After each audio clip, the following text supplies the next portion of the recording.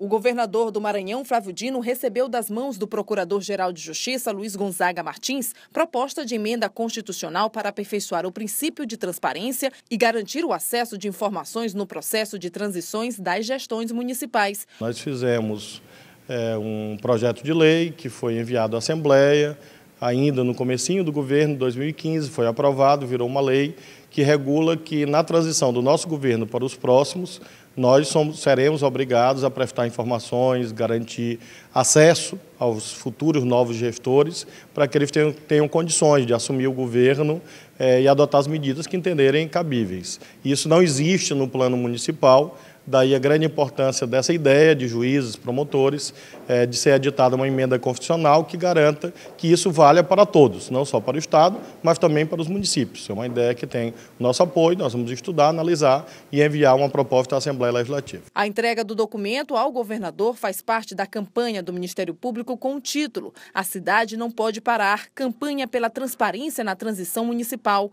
que tem o objetivo de assegurar transições mais republicanas nas gestões municipais municipais. Nós estamos aqui é, trabalhando para a sociedade, para o futuro. É uma campanha institucional de, da transição republicana nos municípios. Estamos aí poucos dias que antecedem as eleições e estamos amanhã, é o dia D, onde todos os promotores de justiça estarão entregando uma notificação judicial aos chefes do poder é, municipal, executivo municipal, para que envie às câmaras municipais um projeto também de lei criando esse mecanismo de controle.